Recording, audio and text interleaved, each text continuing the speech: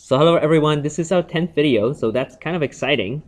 Um, I'm going to be going over some chapter 6 uh, review questions um, in this video today. We're going to start with number 1, parts A and C, uh, then number 5, and finally number 7. So that should cover um, most of the topics of the chapter, if not all. Let's look at question number 1. It is a question where we are to graph each inequality and justify the boundary and the half plane that you shaded. So um, for these kind of questions, what we want to do is to start with the associated equation. In this case, I have 6x plus y equals to 12. And with equation of this form, what we usually want to do is let x equal 0 to find the y-intercept, and then let y equal 0 to find the x-intercept. So if I let x equal 0, y is going to be equal to 12. And then if I let y equals 0, x is going to be equal to, well, 6x is going to be equal to 12, so x is going to be equal to 2. So this gives us the points uh, 0, 12, and uh, 2, 0. So, in this case, the point 2, 0 is going to be right here. I'm going to go up by 2's uh, for every square and point 0, 12 will be somewhere up here. Okay. And since our inequality does not include the boundary itself, okay, this will be a dashed line. Just gonna go ahead and draw that in.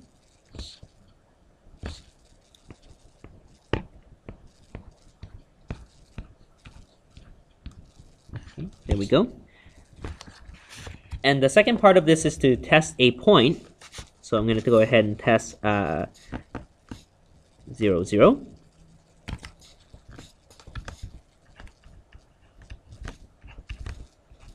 And again, I can do this whenever the line does not go through 0, 0 itself.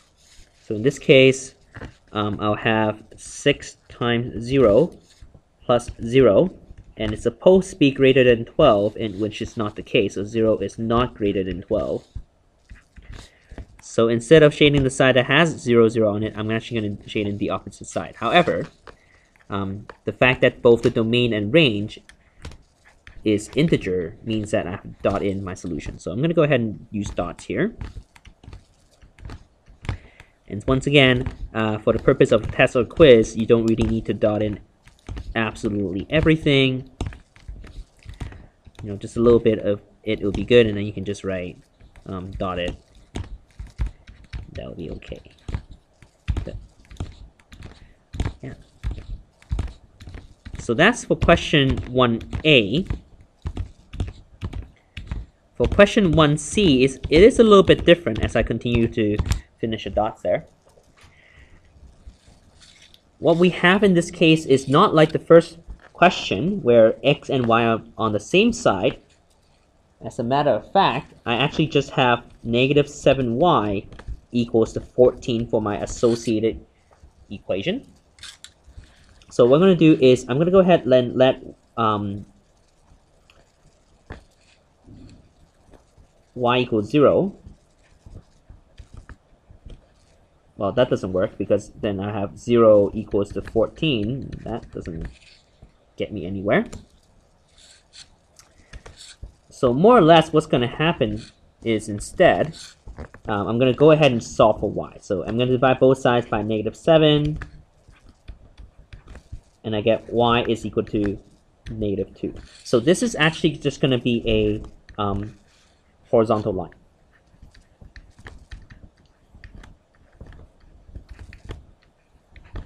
At y equals negative 2. So I'm going to go ahead and draw that in. This time I do want a solid line because it is greater than or equal to. Go ahead and draw that in. And once again, I'm going to test the point 0, 0 because the line does not go through 0, 0, which is convenient. Okay, so I have uh, negative 7 times 0 and it's supposed to be greater than or equal to 14, and that's clearly not the case. Okay, so what I'll end up doing is shading the side that's opposite the 0, 0. So here's 0, 0. I'm going to be shading in this side here. And notice that it is real numbers for the domain and range, so I will be shading with a highlighter. So on the test, what you can do is you can simply uh, shade in the area with your uh, pencil. And that's all you need to do. So we'll move on to question number five, replacing the ropes on a boat. Okay. No more than 50 meters for um, halyards and no more than 120 meters altogether. So we're going to set up our variables h for the first type of rope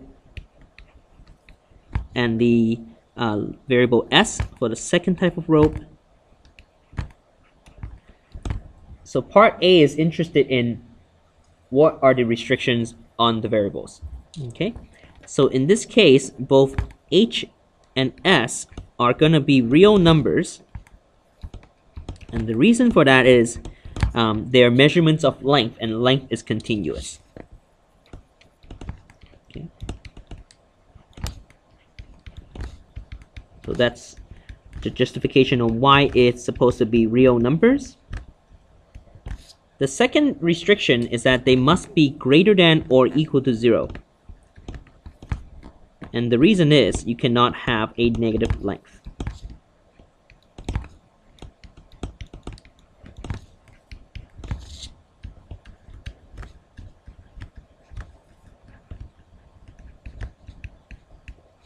Okay. Part B, it says to create a graphical model of this situation and use it to choose two possible combinations of lengths of rope. So in order for us to do that, we need to first set up our inequalities, and there will be two of them.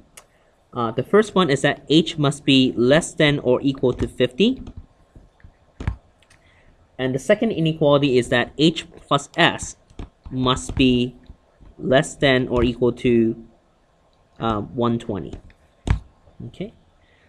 So for us to graph these, this is actually pretty easy because um, if I were to set up my variable h here and my variable s as a vertical axis, then what I'll have is a vertical line because the associated equation will be h equals 50 and that will be vertical.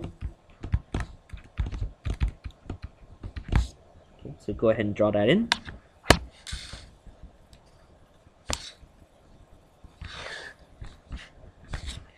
And for the second line, um, I have h plus s is equal to 120.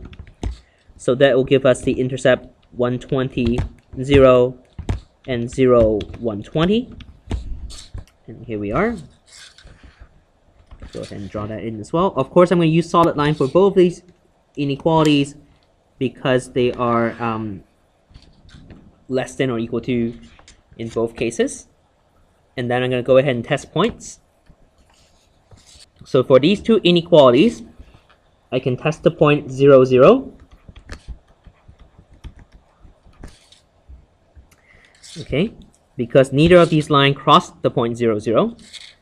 For the first inequality, h is less than or equal to 50. If I test 0, 0, I can see that 0 is indeed less than 50. So I'm going to shade on the left-hand side of this line here. And then for my second inequality, I'll have h plus s less than or equal to 120. So 0 plus 0 is indeed less than 120. I'll shade below this line as well. The common area then is going to be right here.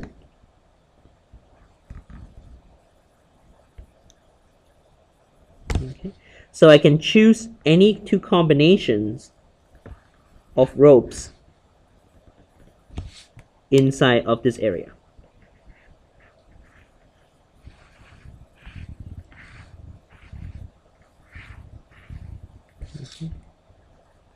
For the sake of uh, simplicity, um, we're most likely going to choose whole number. But of course, real number answers are valid as well. You can have root 2 and something along those lines if you like. Okay, so I'm going to go with the solutions, I don't know, 40 and 50.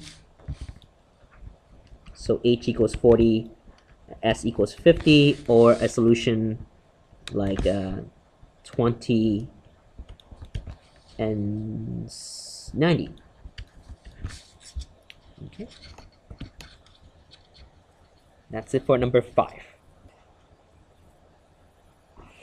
So moving on to question number seven. It is about a pet store that specializes in birds. So it says that at least three times more male birds are sold uh, than female birds. And in that last two weeks, uh, no more than 28 birds are sold in total. And it goes on to say that male birds are sold for $115 each, and female birds were sold for $90 each. The first thing that we need to do is to set up our two variables. Okay, I'm going to go with M for male and F for female.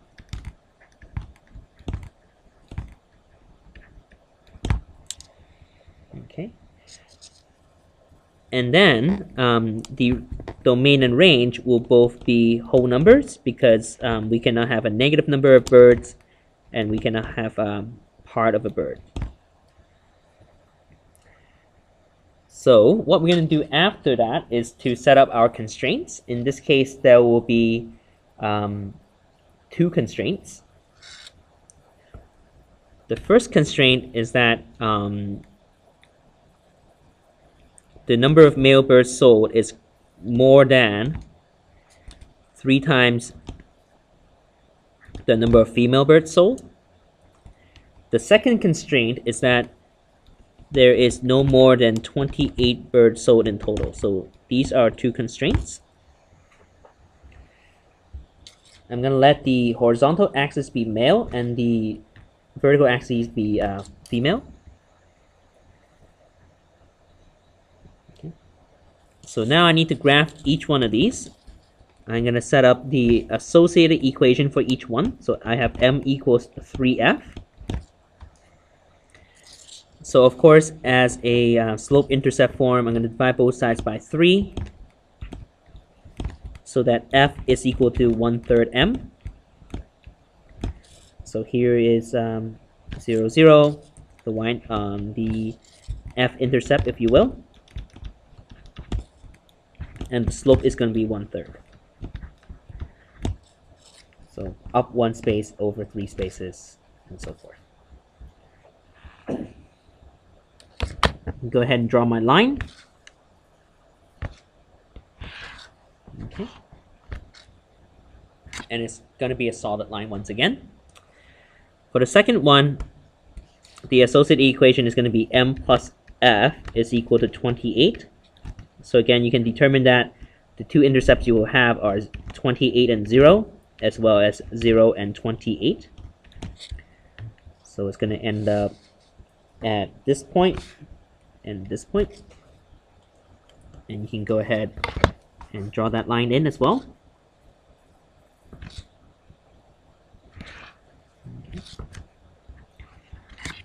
So, and then what we're going to do is um, test points. For the first inequality, I cannot test a 0, 0. So I'm going to go ahead and test 4, 0 instead. So I have m is greater than or equal to 3 times f. If I have 4, and see if it's greater than 3 times 0. Well, 4 is greater than 0, so that's true. So I'm going to shade in this side of the first line. For the second line, I can actually test 0, 0. So I'm going to go ahead and do that. So m plus f is less than or equal to 28. So 0 plus 0 is going to be less than or equal to 28, and that's true. So I can shade in the side of the line that's over here. But actually, I'm going to end up dotting because the solution set is supposed to be whole numbers. So I'm going to go ahead and do that.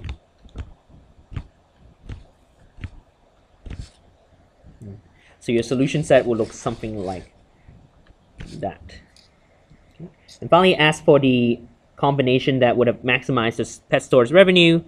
Um, you obviously want to sell as many of the male birds as you can possibly sell. So you have three corners, one here, one here, and one here. And the only one that really maxes maximizes the number of male birds sold is this one right here. So we're going to sell 28 male birds and 0 female birds. Taking a look at the objective function, which would have been r equals to 115m plus 90f. I will plug in 28 and 0. which will give me the maximum revenue and that's going to be